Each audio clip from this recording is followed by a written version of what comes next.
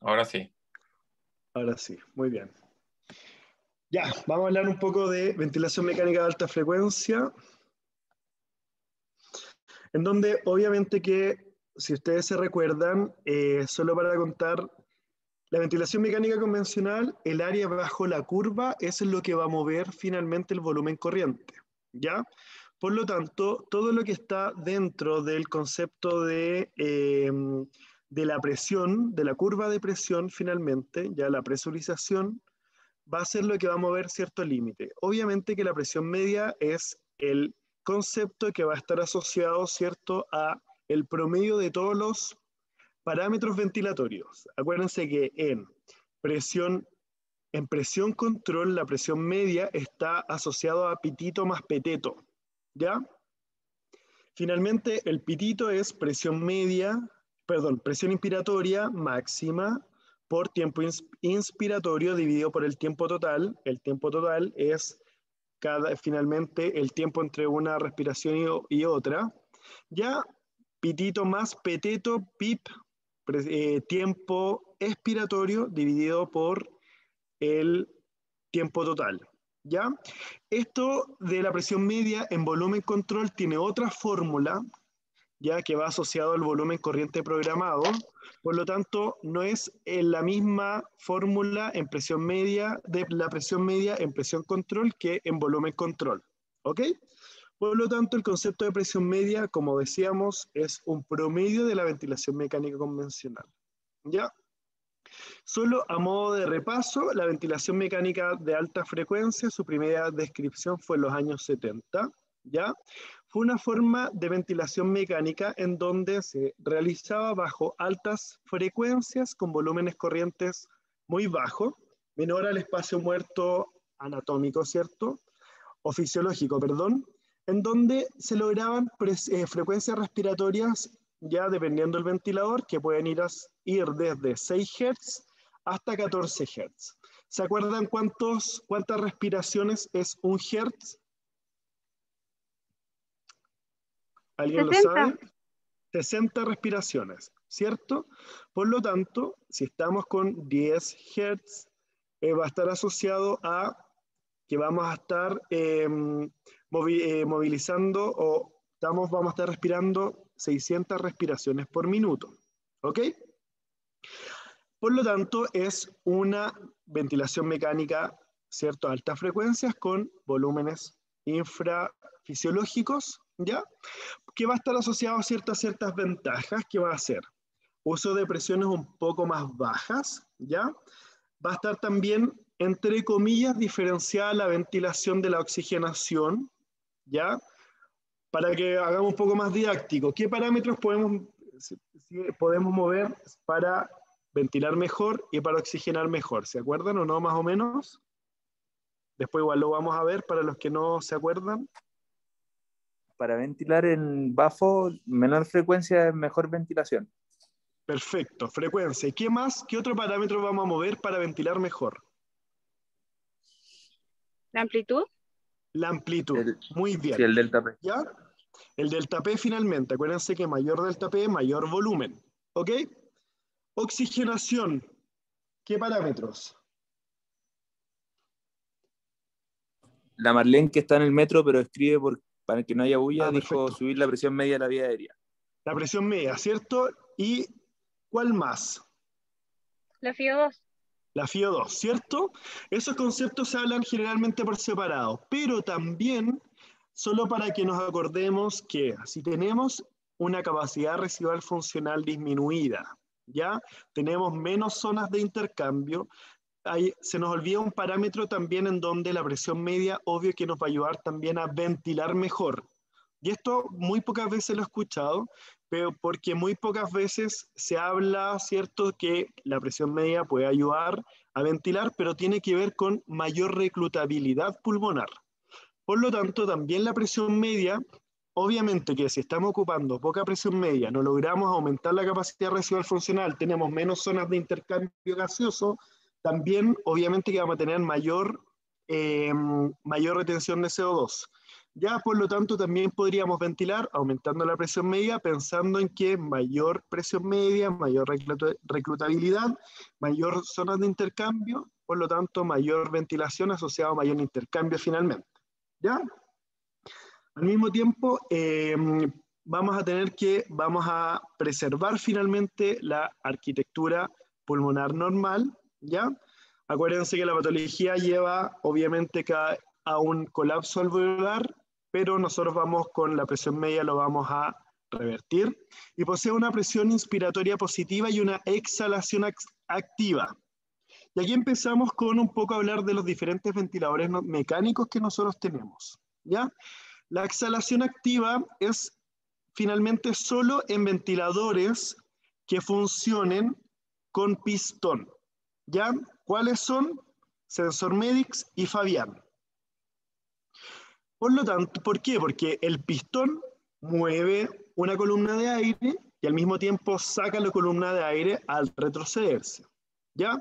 No así el SLE, no así el BN500, que son los otros ventiladores más comunes que realizan eh, que ventilan pacientes neonatales en alta frecuencia. ¿Ok?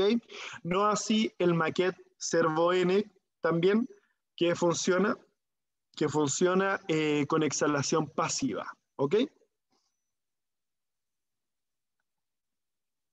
Por lo tanto, el bafo se le llama eh, CPAP con oscilaciones. Por lo tanto, el CPAP es una que es una inspiración mantenida, ¿cierto?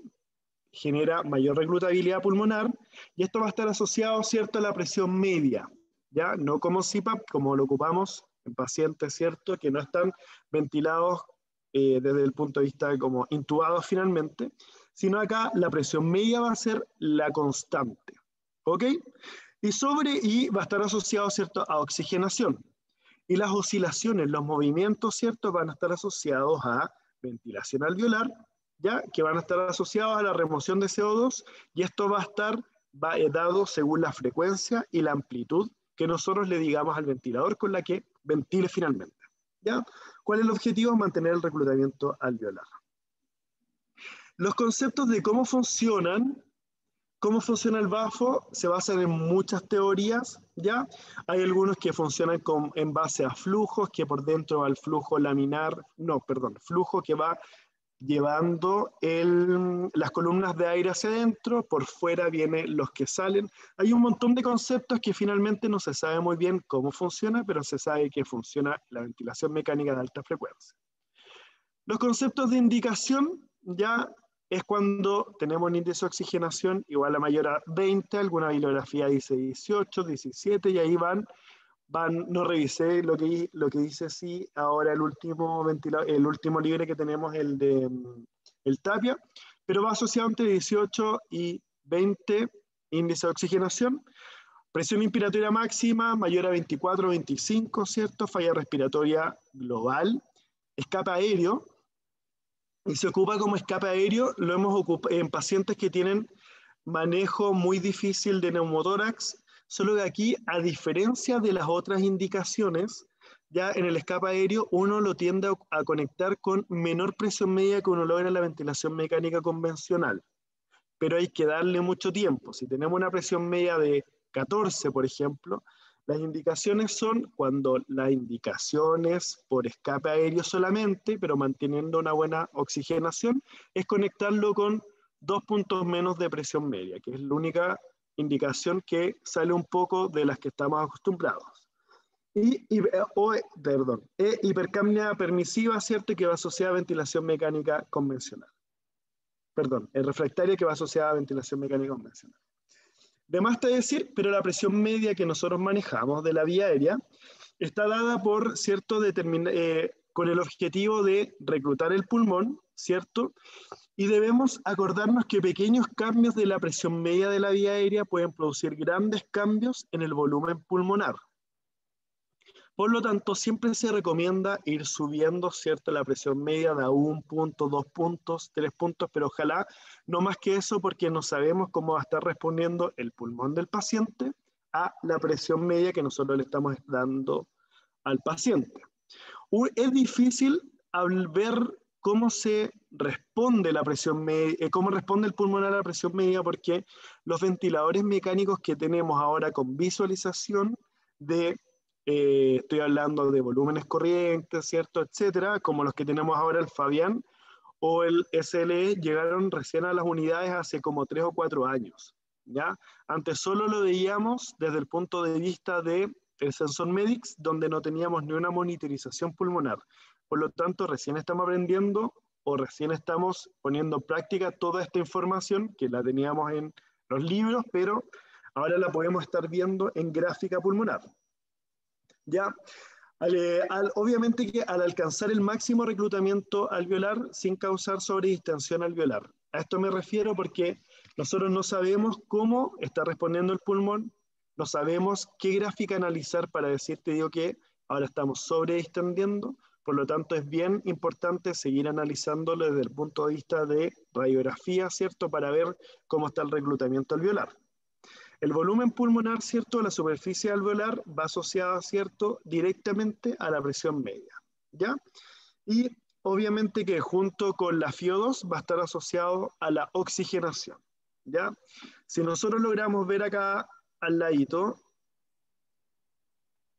estoy buscando el puntero láser, la presión media es obviamente el concepto como de presión media, que es la constante, y lo que hace la amplitud es subir hacia arriba y hacia abajo de la presión media. ¿Ok? Por lo tanto, y la, y la, la amplitud va a ir asociado, ¿cierto?, a la relación IE, y todos esos conceptos van a ir asociados a, directamente con la presión media de la vía aérea. Esta era pregunta siempre dudosa, no se sabía muy bien si la amplitud funcionaba como desde la presión media hacia arriba o hacia abajo o hacia arriba y hacia abajo. Todavía era un concepto que no se manejaba muy bien. ¿Ok? ¿Cuál es la idea de esto? Es reclutar el pulmón, ¿cierto? Salir de las zonas de desreclutamiento, que son en la curva de presión-volumen, logramos ver, ¿cierto? La curva de inflexión inferior, y al mismo tiempo no trabajar, no sobredistender, por lo tanto buscar una zona de seguridad. ¿Ok?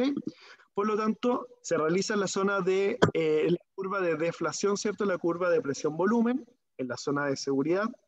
Recuerden que pequeños cambios de volúmenes, ¿cierto? Pueden ayudar a limitar o a generar sobredistensión finalmente. Y altas presiones de la vía, eh, presiones de la vía media, de, perdón, de la vía aérea, nos podrían llevar, ¿cierto? A eh, a prevenir un colapso asociado a la ventilación mecánica convencional. ¿Ok? Acuérdense que el daño pulmonar se genera por la apertura y cierre cíclica de la ventilación mecánica convencional. Mientras más delta de presión tengamos, ya mayor daño podemos eh, generar asociado, ¿cierto?, al golpe o al trabajo que está generando la ventilación mecánica convencional y esto nos puede llevar a cierto daño asociado a sobredistensión, ¿cierto? Asociado al volumen, a la presión, al de reclutamiento, etc. ¿Ya? Por lo tanto, si bien aquí damos presiones más altas que en ventilación mecánica convencional, obviamente que nos podemos generar un poco de menos de, de daño asociado a que la presión media genera amplitud, no tanto daño como la ventilación mecánica convencional. ¿Ya? Pero debemos tener cuidado con la sobredistensión. ¿Cómo lo programamos? Ahí vamos dando, ¿cierto? Tenemos que fijarnos en la presión media de la vía aérea y vamos sumándole de 2 a 4 puntos sobre la presión media eh, programada en ventilación, vista, mejor dicho, en ventilación mecánica convencional. ¿Ya? No así, recuerden, en pacientes con escape aéreo grave, ¿ya? que he visto solo pocos pequeños, más que nada en pediatría, asociado a esto, porque obviamente que en neonatología logramos manejar muchas veces bien el escape aéreo, pero una vez en pequeño en el sótero tenía como dos o tres neumotórax, un paciente trasladado, trasladados desde otra unidad, y con él también partieron, con oxigenito yo me acuerdo haberlo visto, pero también partieron con dos puntos menos que la presión media vista en la ventilación mecánica convencional. ¿Ya? La amplitud. La amplitud va a estar asociada, ¿cierto?, a oscilaciones que va a generar el ventilador mecánico convencional. ¿Qué es lo que se ha visto en diferentes ensayos? Que el delta de presión, obviamente que es grande, la que se genera en la ventilación mecánica convencional, pero esta va a ir disminuyendo a través de la vía aérea. ¿ya? y va a estar relacionada completamente con el barrer el CO2. ¿Ok? Mayor amplitud, mm, eh, barre mayor CO2, mayor volumen que entra, mayor volumen que sale, por lo tanto, mayor CO2 que sale. ¿Ok? Por lo tanto, em, el control de la amplitud todavía sigue siendo clínico, ¿ya? Y uno lo que logra o lo que quiere ver es un movimiento del tórax que va a estar asociado entre eh, los hombros y la cadera del paciente, ¿ya? Ojalá no más que eso, ojalá eh, que no se mueva la cabecita ni las extremidades inferiores del paciente, ¿ya? Y va a estar asociado, ¿cierto?, a la vibración del tórax y el abdomen. Esto era lo que se hablaba harto cuando nosotros teníamos el sensor MEDIX. Hoy en día nosotros podemos analizar el volumen corriente que está recibiendo el paciente, ya que tenemos obviamente sensores de, eh, sensores de flujo o sensores ciertos de, que nos van a ir diciendo cuánto volumen está recibiendo el paciente y lo podemos asociar a 1 o 2 ml por kilogramo peso. ¿Ok? Al mismo tiempo, hoy día muchos de los ventiladores nos permiten volumen garantizado. Sabemos que el objetivo de la ventilación alta frecuencia, como contaba, es de 1 a 2 ml por kilo, ¿ya? Y lo podemos buscar en volumen garantizado, partir con 1 ml por kilo, subir a 1,5 a 2 ml por kilo, para ir ocupando volumen garantizado en ventilación mecánica de alta frecuencia. ¿Ok? Cuando no teníamos el conocimiento de cuánto podríamos ocupar con volumen garantizado, se partía con 35, 40 centímetros de agua y ahí íbamos buscando si queríamos mayor movimiento, mayor amplitud, lo subíamos en la amplitud, si queríamos menos amplitud, asociado ¿cierto? al ojo clínico del, clínico que estaba eh, seteando los parámetros en ese momento, íbamos bajando la amplitud para lograr la amplitud que nosotros queríamos. Hoy día, tal como decíamos, podíamos ver el volumen corriente que queríamos mover asociado a esto, ¿ya? Por lo tanto, eh, pero seguimos dando y ustedes van viendo que los, muchos de los médicos con los que trabajamos, cuando le dicen, oye, ¿con qué partimos?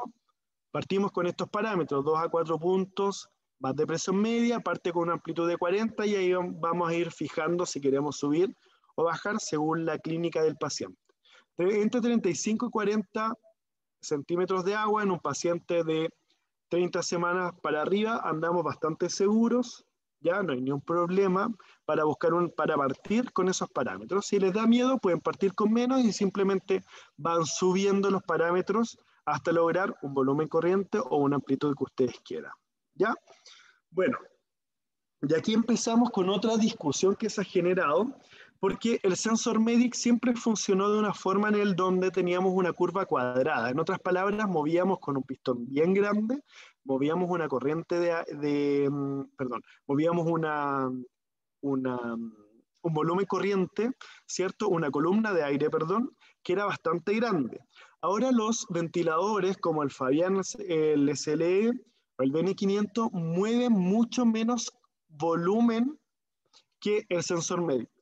Ya, por lo tanto, la pregunta es, si ocupamos una amplitud de 40, 60, 70, 80, mucha gente se queda con el número. Te digo que estamos ocupando mucho volumen, perdón, mucha amplitud, 80 centímetros de agua, 90 centímetros de agua, cuando ocupamos mucho, obviamente 60 centímetros de agua. Y, pero el concepto es, si con esa amplitud logramos esa vibración en el tórax, capaz que lo que necesitamos, y no tanto llevarnos por el número, ¿ya? Obviamente que los clínicos más antiguos, si uno les dice, oh, estamos ocupando 60 centímetros, que, perdón, 60, 70 de amplitud, capaz que se van a espantar, pero también hay varias teorías que estos ventiladores funcionan más con una, sonda, con una onda un poco más sinusoidal, por lo tanto mueve un poco menos de volumen y golpea menos el pulmón. ¿Ok? Esa discusión todavía está ya, pero los clínicos que, con los que ustedes van a trabajar más antiguos se van a guiar mucho por los números, un poco los más nuevos se pueden ir guiando más por el volumen corriente y por la amplitud. ¿Ya? Son pequeños detalles que para que ustedes sepan con quién van a estar trabajando. Pero al mismo tiempo, la transmisión que se genera de la amplitud a través de eh, la vía aérea, ustedes van viendo que la amplitud proximal en el ventilador mecánico es mucho más amplia que la de que se va a transmitir finalmente la tráquea y el alveolo va a ser mucho menor. ¿Ok? Por lo tanto, la amplitud disminuye, ¿cierto?, a través de la vía aérea y las presiones obviamente alcanzadas dentro del circuito del oscilador, ¿cierto?, del ventilador mecánico, no es el mismo que va a recibir el tubo endotraqueal y no es el mismo que va a recibir la vía aérea. ¿ya? Y em, obviamente que lo que nosotros medimos es lo que va a entregar el ventilador, pero no sabemos cuál es la que finalmente nos va a estar entregando a la vía aérea. ¿Ya?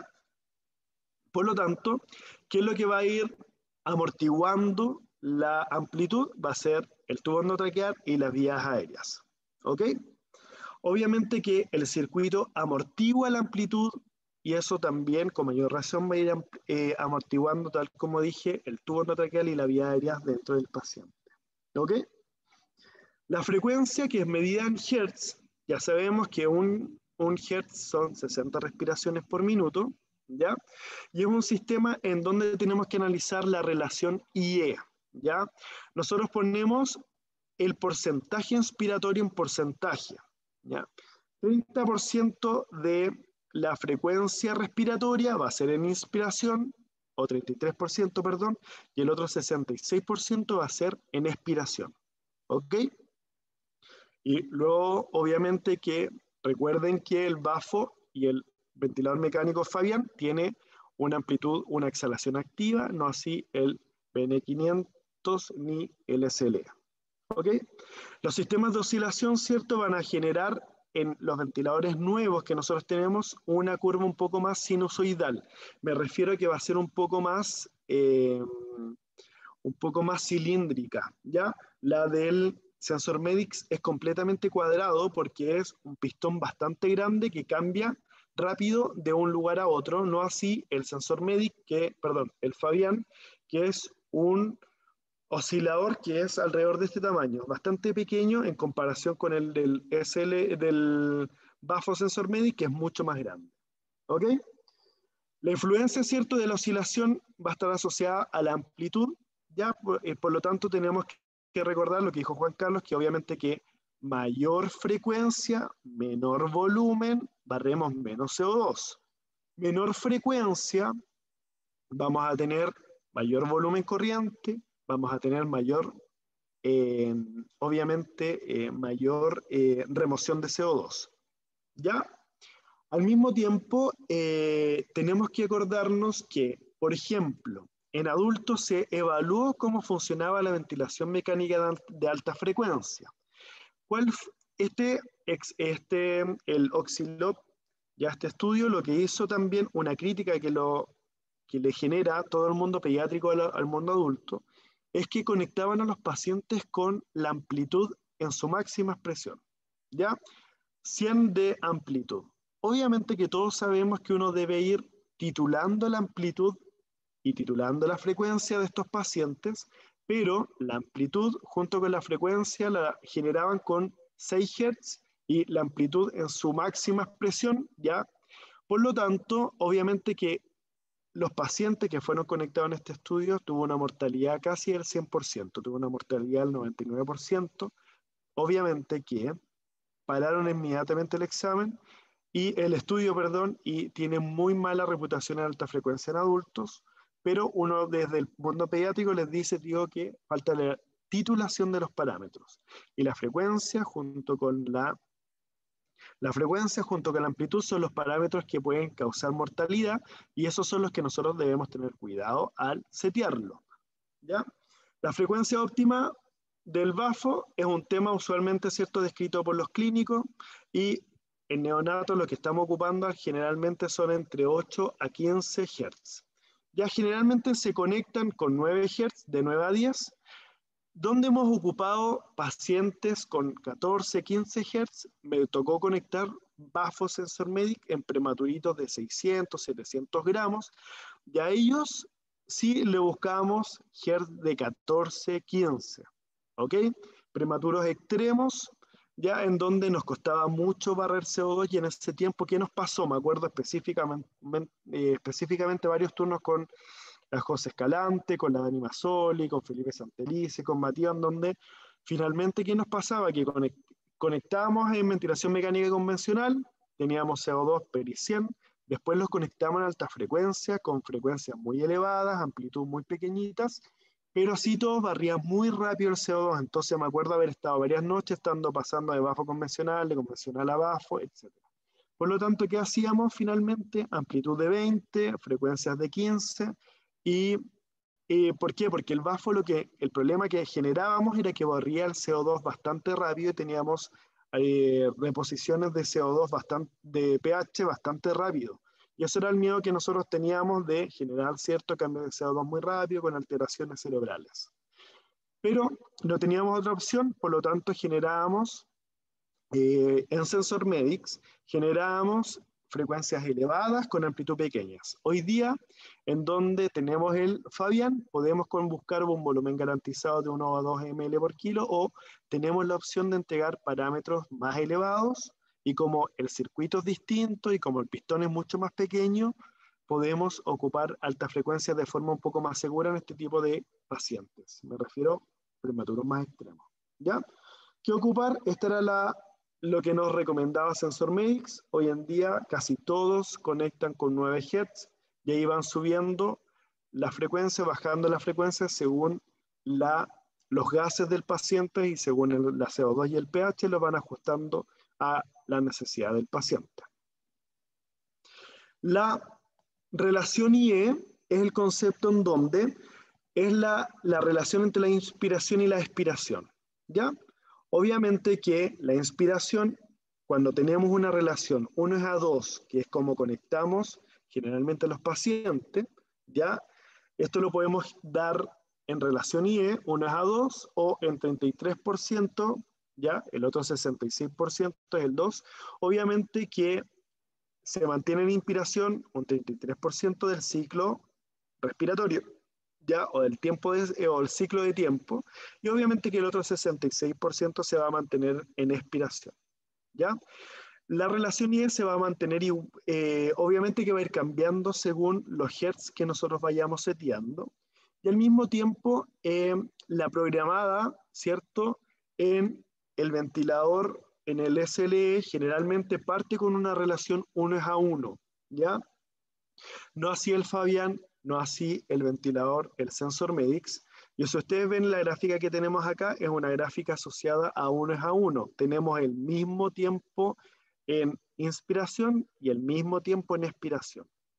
¿Y aquí va asociado a que si nosotros tenemos menos frecuencia, obviamente que vamos a tener una oscilación un poco más grande y vamos a tener mayor entrada de volumen y vamos a tener al mismo tiempo mayor salida de volumen, por lo tanto nos va a permitir barrer mejor CO2. El tiempo inspiratorio, obvio que nosotros seteamos, era generalmente 30% en sensor mix o una relación 1 a 2 en los ventiladores más nuevos. ¿ya? ¿Cuál es el concepto? mantener una relación 1 a 2 para evitar el atrapamiento aéreo, ¿cierto? Que no nos genere hiperinsuflación, que no nos genere escape aéreo, neumotora o asociado, ¿cierto?, a un compromiso cardiovascular. ¿Ya? Hoy día logramos ver que los ventiladores más nuevos podemos generar una relación 1 a 1 que es bastante segura, que tenemos poco escape aéreo por lo general. Y la, estrategia finalmente para optimizar eh, la entrega de volumen, la última era el componente de una relación 1 a 1. Sensor Medics, ¿qué nos decía? Te digo que si tienes una retención de CO2, su amplitud, baja frecuencia, si con esto ya no lograste mejorar el CO2 del paciente, la última estrategia es subir el 33%, de 33%, súbelo a 50%. ¿ya? En la cato de que yo me acuerdo en estos años, nunca me he ocupado en Sensor Medics una eh, una relación IE del 1 a 1 en Sensor Medic, pero sí la hemos ocupado en, en SLE y sí la hemos ocupado en los ventiladores Fabianes. ¿Ok? El volumen corriente va a estar asociado, ¿cierto?, a la resistencia que le ponga generalmente el tubo endotraqueal, en donde obviamente que si nosotros tenemos eh, un tubo más pequeño, obviamente que vamos a tener un volumen corriente un poco más restringido o menor, no así si tenemos un tubo eh, endotraqueal más grande, obviamente que va a entrar un poco más, le va a poner menos resistencia, por lo tanto vamos a tener un volumen corriente un poco más grande. Luego de el tubo endotraqueal, lo que le va a poner la resistencia al volumen que, corriente que va a entrar es la compliance o la, o la distensibilidad pulmonar y la resistencia de la vía aérea. Por lo tanto, la primera restricción al volumen corriente que le está poniendo va a ser el tubo endotraqueal, luego la vía aérea y luego la distensibilidad pulmonar. ¿ya? Obviamente que la obstrucción de, de la vía aérea por perdón, del tubo endotraqueal por secreciones, disminución del número de que nos va a llevar a una disminución del diámetro interno, el acodamiento cierto del tubo, etcétera, van a ir disminuyendo también el volumen corriente que va a entrar. ¿Ok? De aquí nosotros vamos a ver uno de las de lo que pasa fuera de la católica y del sótero, muchos centros les da miedo aspirar a los pacientes, ¿ya? Y ustedes se van a empezar a dar cuenta que muchos de los pacientes que vienen a ECMO a la católica, ya muchos han respondido bastante bien con el solo hecho de empezar a aspirarlos. Ya me acuerdo del paciente que trajeron desde el Félix Bulnes, el penúltimo que se trasladó a ECMO ahora a la Católica, me acuerdo que llegó el paciente, ya estaba Matías Luco de turno, lo recibimos y venía con bastantes secreciones. Le hicimos quino, lo aspiramos, siguió en alta frecuencia y con eso ya logramos mejorar bastante los gases del paciente. Por lo tanto, recuerden que los otros centros pocas veces aspiran a los pacientes si lo aspiran, lo van a aspirar con Trasker, que es esta sonda que va asociada al circuito y al tubo, que es una sonda sellada, que permite menos, ah, que como, como es una sonda sellada, ya va a, va a, el paciente se va a desreclutar menos.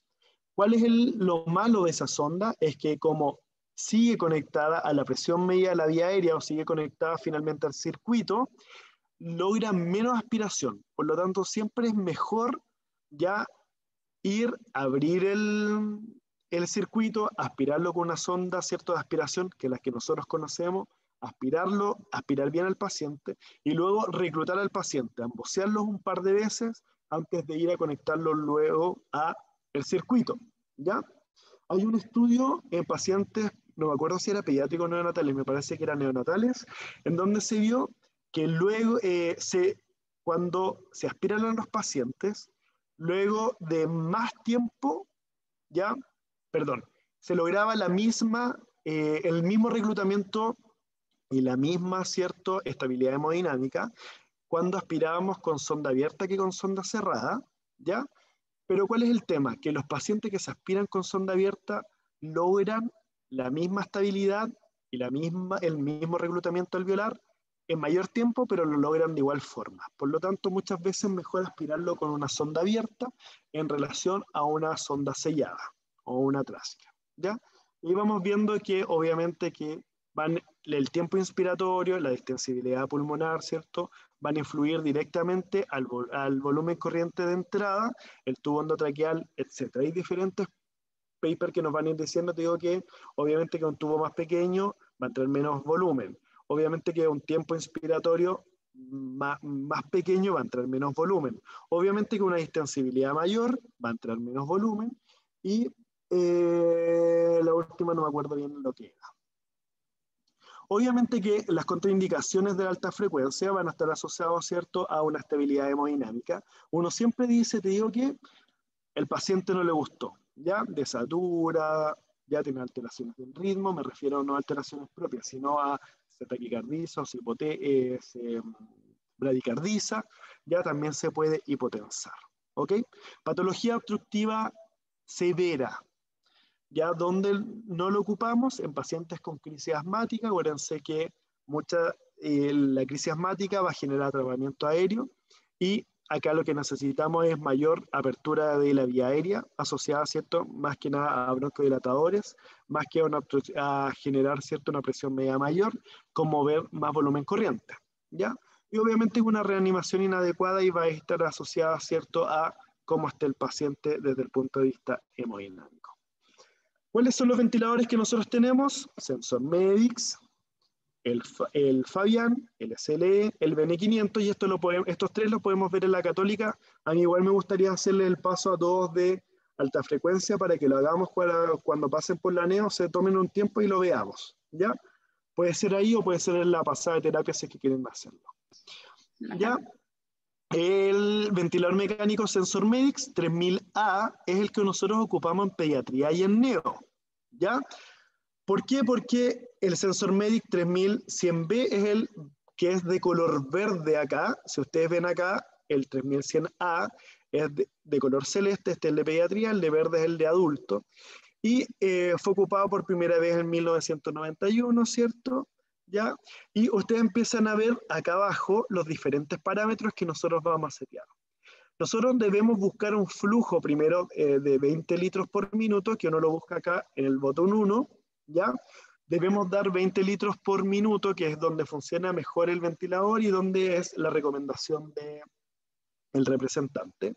Luego vamos a tener que setear un límite y la presión media de la vía aérea. El límite de la presión media de la vía aérea, que es esta eh, perilla de color azul, es lo mismo que en el Neopaf, que uno le dice, te digo que si yo subo la presión media de la vía aérea, voy a llegar a un tope. ¿Ya? El límite de la vía aérea, nosotros siempre lo, o yo lo seteo entre 25 y 30 centímetros de agua. Por lo tanto, la perilla verde, que es la de la presión de la vía aérea, ya va a estar dada desde 8 centímetros de agua, 9 centímetros de agua, y va a depender del circuito que nosotros tengamos, hasta los 25 o 30 centímetros de agua que nosotros seteamos como límite. ¿Ok? En varios centros le ponen un, incluso alguna telita acá que dice 70 centímetros de agua, en donde uno sabe que uno puede llegar hasta 30 centímetros de agua y de ahí uno tendría que empezar a mover la perilla azul. ¿Ya? Cuando hemos ocupado mm, eh, presión media mayor a 30 en neonatología, yo nunca lo he visto, ¿ya? Pero sí he visto en pacientes en pediatría, para los que les toque pasar alguna vez por pediatría, en pacientes oncológicos, por ejemplo, estos pacientes bien graves en etapa aguda, sí hemos llegado a presiones medias de 30, 35 y de ahí empezamos a bajar eh, paulatinamente hasta llegar a una presión media más eh, aceptable, ojalá de 25 centímetros de agua o algo así, 28 centímetros de agua. ¿Ok? Luego lo que nosotros seteamos son eh, o no, no, sé si el orden, pero aquí lo que empezamos finalmente viendo que el punto 3 es la amplitud, ¿ya? la perilla número 4 es el porcentaje inspiratorio y en la perilla número 5 es la frecuencia. ¿Qué pasa en el sensor MEDIX? Ya que obviamente, si ustedes ven acá hay un pistón creo que, es esta, y después se los voy a mostrar. ¿ya? Y este siempre va a estar cambiando de lugar. Lo que nosotros queremos es que el pistón o la lucecita esté al medio. Déjenme ver si tengo alguna otra foto. Por ejemplo, acá.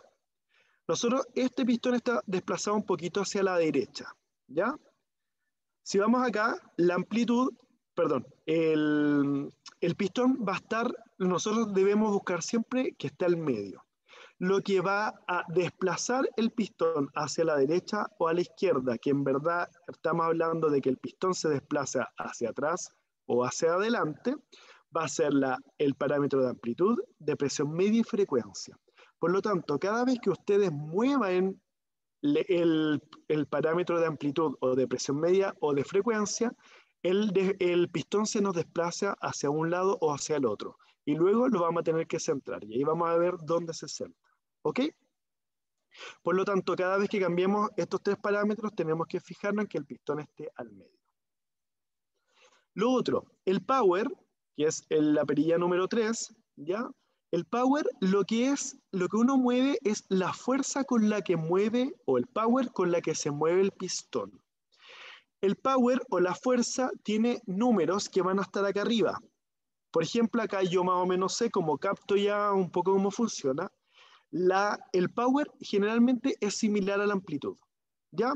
Si tenemos un power de 2, vamos a tener una amplitud de 20. Si tenemos un power de 4, vamos a tener una amplitud de 40. ¿Qué pasa? Si yo logro con un power de 4 una, una amplitud de 35, yo sé que ese pulmón estaba bastante duro. Si yo logro un, con un power de 4, logro una amplitud de 45, yo sé que ese pulmón está más o menos más blando. Por lo tanto, eh, está más complaciente. Por lo tanto, era el único parámetro que nosotros podíamos evaluar para decir, te digo que este, parámetro, este pulmón está más duro o está más blando, ¿ya? O está más distensible o menos distensible. Si ustedes empiezan a ver, esta es la perilla de que nosotros movemos y buscamos el flujo inspiratorio, que es 20, centímetros, 20 litros por minuto, perdón. Acá están las perillas que lo mostraba. Obviamente el blender, y este es el pistón del sensor Medix. Es un pistón bastante grande, ya no así el de el Fabián. ¿Y qué hacía? Buscábamos un flujo, ya desde la vía aérea más proximal, ¿cierto? Y lograba llegar al, pistón y este era el que oscilaba. Y al oscilar le entregaba, ¿cierto?, las columnas de aire al paciente. Y acá está el, tema de la oscilación. Ustedes van viendo que el pistón se puede desplazar a la derecha, se puede desplazar a la izquierda, pero nosotros buscamos, ¿cierto?, que el pistón esté al medio. Al mismo tiempo, a la salida de el, eh, del ventilador vamos a tener diferentes líneas de, color, de colores. La azul va a ver el límite y esta va a estar limitando o va a estar generando, ¿cierto?, que la callampa o el diafragma del circuito se levante al momento de llegar a la presión que nosotros tenemos programada. Lo que hace la en línea de presión, que es una línea blanca o transparente, va a buscar la presión media seteada por la presión media y la vamos a estar evaluando acá en, el visor del ventilador. La presión media lo que hace es que libera más presión o libera menos presión según el diafragma que va a estar asociada ¿cierto? a la presión media y la última que es la línea roja que la medición va a dar las, las alarmas finalmente. ¿Ya? Y lo que hace, luego, obviamente otra vez lo estoy mostrando, que lo que hace que entra en flujo, el pistón gira, vibra, y ese es el aire que le va a estar entrando al paciente, y lo que hace él, la presión media, va a estar liberando mayor presión o menos presión desde el diafragma que va a estar a la salida del ventilador. ¿ya? Y aquí está lo que yo les mostraba. Ven que vamos a tener una línea de color azul, una línea de color blanca, una línea de color roja y una línea de color verde. Y la línea de color verde va a estar liberando, ¿cierto?, más presión o menos presión asociada a la presión media que nosotros queramos darle. La línea de presión va a estar asociada a la visualización de cuánta presión media vamos a estar logrando. Ya la línea azul va a estar relacionada con el límite, que va a estar relacionada con al momento de llegar a eh, la presión máxima seteada por la presión media, vamos a tener que seguir funcionando con la, con la perilla del límite. Y acá está el botón que centra el pistón. Si ustedes quieren llevar el pistón desde la derecha a la izquierda, tienen que mover, ¿cierto? La perilla desde la derecha a la izquierda, y si quieren llevar el pistón desde la izquierda a la derecha, van a tener que mover la perilla desde la izquierda a la derecha. Y este es el ventilador Sensor Medix pediátrico. Luego vamos a tener el Fabián. El Fabián es un poco más amigable, es más conocido también por ustedes. Obviamente, me imagino que, espero que se haya entendido lo del, lo del Sensor Medix, pero la idea es que lo vean y después lo podemos ver en la unidad más tranquilo. Lo vamos a ir viendo con un, eh, un pulmón de prueba también. El ventilador Fabián, aquí van viendo los diferentes parámetros que podemos dar incluso volumen garantizado, ya con su presión media máxima, ya de amplitud finalmente, y eh, vamos a tener la presión media seteada, la FIO2, ya la frecuencia seteada, la relación IE y el flujo que nosotros vamos a estar dando. En Sensor Medix logramos, con, lo logramos con 20 litros por minuto. En Fabian podemos darlo desde 5 a 8 fácilmente, sin problema. ¿Ok? Aquí van a estar los parámetros medidos. Si con tenemos un volumen garantizado de 4, lo vamos a lograr con, por ejemplo, 40 centímetros de agua. Esos son lo que nosotros vamos a estar visualizando. ¿Ok? La presión media seteada, perdón, está acá, la, la presión media medida va a estar acá, y si ustedes van a darse cuenta que más o menos la presión media de la vía aérea va a estar al medio acá del desplazamiento hacia arriba y hacia abajo del pistón.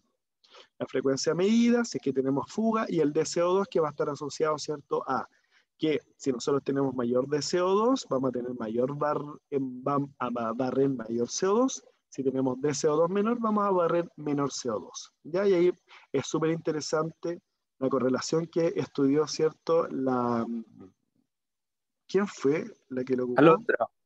La Alondra. La Alondra sí lo estudió para ver la relación, porque obviamente que todos estos parámetros son parámetros que nosotros hemos estudiado desde la literatura, pero recién en estos ventiladores estamos viendo si de verdad funcionan o no. Y la ALO vio que en Fabián había una relación mucho más exacta que en el SLE 5000, ¿ya? Acuérdense que el SLE 6000 funciona de la misma forma que el SLE 5000, so, lo único que cambió fue la pantalla, ¿ya? Para que ustedes lo sepan. Por lo tanto, vamos a tener los parámetros eh, medidos y acá vamos a tener los parámetros seteados, ¿ok? Em, esta es la imagen que encontré del SLE, Rodrigo, ya vamos a... Dime. pregunta con el Fabián, que después vamos a hablar del, del volumen garantizado en BAFO o, o no. No tanto, no, no hice mucho, pero Porque ¿cuál es tu leí- pregunta? Leí- es que leí por ahí que cuando uno lo maneja con volumen garantizado, la frecuencia como que cambia de sentido. En el Sí, sentido que si, que no- si estoy con volumen garantizado y bajo la frecuencia, barro menos CO2. Ah, eso, ah, cuando tú estás en, en volumen garantizado, sí, ¿ya? Porque tú tienes ahora la- el volumen constante. No es variable como cuando tú solo pones amplitud sin volumen garantizado. ¿Se entiende, no? Sí, sí, sí. ¿Ya? Acá el concepto de volumen garantizado con frecuencia, tú lo que buscas con la frecuencia y con la amplitud, buscas mayor o menor volumen garantizado cuando no tienes volumen garantizado. Perdón, cuando tú cambias las frecuencias y cambias la amplitud, tú buscas un volumen corriente que sea mayor o menor. En cambio, en volumen garantizado, lo que tú vas a tener es un volumen corriente fijo. Por lo tanto, si tú tienes el volumen corriente fijo, obviamente que aquí el concepto de frecuencia va a ser lo mismo que en ventilación mecánica convencional. Mayor frecuencia, mayor volumen, porque finalmente lo que tú tienes acá es el volumen garantizado fijo. ¿Se entiende? Sí, gracias. No sé si el resto lo entienden, ¿verdad? Pero por último ahí lo, lo, lo discutí, es que como, como no, no, no me han respondido, pero ahí lo podemos conversar. Aquí el volumen garantizado, la variable fija, pues ese es el, ese es el concepto. ¿Ya? En ventilación mecánica de alta frecuencia, en SLE, los parámetros FIO2, delta P, ya presión media y la frecuencia. Y acá tenemos los parámetros medidos. En el BN500 es lo mismo. ¿Ok? Y ahora, ¿dónde están yendo muchos de los estudios? Es en los ventiladores, es cómo funcionan los diferentes ventiladores. ¿Ok?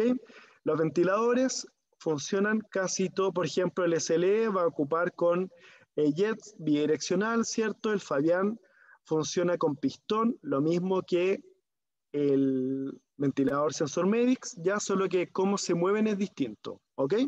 Es una membrana activa, la del Fabián, y el otro funciona con electromagnetismo, el del SLE, etc. ¿Ya? El BN500 funciona de una forma de Venturi, ¿ya? Eh, y lo que hace simplemente es infla al paciente y corta la inspiración. Infla al paciente y corta la inspiración. ¿Ok? Cómo funciona el BN500. Y ustedes empiezan a hablar que, a ver que los ventiladores funcionan, algunos bastante similar, ¿ya? Y el SLE en barrer CO2 funciona bastante bien. ¿Ok? ¿Qué es lo que se ha visto o qué es lo que he visto yo? Que muchas veces, a diferencia del Fabián y del Sensor Medix, ¿ya? El, el ventilador, el, el SLE, ha generado un poco más de neumotórax. Hemos tenido mayor neumotórax en pacientes con ventilador SLE que en Sensor Medic y en Fabián. Esto fue, me lo dijo, me acuerdo que la ruminó, un día lo conversé también con Rodrigo Adasme, lo porque empezaba a, darnos, a darme cuenta que todos los, los pacientes que hacían neumotórax estaban en, en ventilador SLE y un día me acuerdo que se lo comenté solo a el doctor Luco, que al principio me dijo no, pero después me dijo que sí, como que, pero es una apreciación solamente, no, hay, no tenemos ni un paper, no hemos hecho ni un seguimiento a los pacientes, ni nada. Ahora, yo sí sé que en algunos estudios que se han hecho extras a la católica, algunas veces en los parámetros del SLE, en, en ¿cómo es que se llaman? Estudios de, de laboratorio, se dieron cuenta que los parámetros del SLE eran un poco mayor que los que seteaba el ventilador, ¿ya? Mayor amplitud, por lo tanto, mayor volumen corriente, etc. Por lo tanto, eso puede ser que no esté jugando en contra. Nosotros no hemos hecho ni una medición en la católica. ¿Podríamos medirlo? Sí. Pero se ha visto que el Fabián lo que te mide es lo mismo que te entrega y lo mismo que te entrega el visor del, ventilador mecánico. Y ustedes lo empiezan a ver también en ventilación mecánica convencional, que algunas veces en el SLE ustedes se te dan 20, pero está dando, por ejemplo, 22. Está midiendo o 18. ¿ya? Eso se podría extrapolar un poco también a el alta frecuencia, pero esto es solo una apreciación mía. Ya yo me hace responsable de lo que estoy diciendo. No lo he conversado mucho con otros clínicos, así que es una apreciación mucho más mía, pero es que yo paso todos los días revisando el ventilador mecánico, por lo tanto, si a ustedes le llama la atención, lo podríamos conversar después nosotros. ¿Ya? El menos efectivo, el Baby Lock, ustedes lo van a ver en San Carlos de Apoquindo, pero es un ventilador mecánico que levanta paciente hasta 2 kilos solamente. Más allá de eso, mm, no anda muy bien. ¿Ya? Y ustedes empiezan a ver también que los, en los ventiladores como el BN500 ya funciona mejor en frecuencias más bajas, ¿ya? Pero su rendimiento no era muy bueno en frecuencias más elevadas, ¿ya? Solo para que lo tengan como, por, eh, eh, como referencia. Por lo tanto, por ejemplo, la clínica alemana se basó en ese estudio para decir, digo que todos nuestros pacientes lo vamos a ventilar entre 6 y 8 Hz, por ejemplo, porque ellos solo tienen BN500 y andan bastante bien, pero no son los mismos hertz que nosotros vamos a ocupar en el hospital porque nosotros tenemos otro tipo de ventiladores. ¿Ok? Y esto lo podemos conversar después más tranquilo, asociado, ¿cierto?, a otro, porque ya van a ser las 4 de la tarde. ¿Ya? ¿Qué es lo malo del bafo? Un poco en, eh, que necesitamos mucha sedación, ¿ya? Y en, inclusive en algunos pacientes requerimos parálisis, ¿cierto? Disminución de la precarga, acuérdense que mayor presión media ¿cierto? Mayor presión intratorácica, por lo tanto tenemos menor retorno venoso, por lo tanto tenemos que tener al paciente bien volumizado, con buen, buena titulación de drogas vasoactivas, ¿ya? Y eso lo podemos hablar después de interacciones cardiopulmonares y todo lo que es droga vasoactiva, obviamente que yo no sé nada, así que lo hablan con sus médicos respectivos, ¿ya? Eh, para pacientes que tienen, para centros que tienen poca experiencia, es complicado manejar la ventilación mecánica de alta frecuencia. Hoy día tenemos transportabilidad, antes no la teníamos.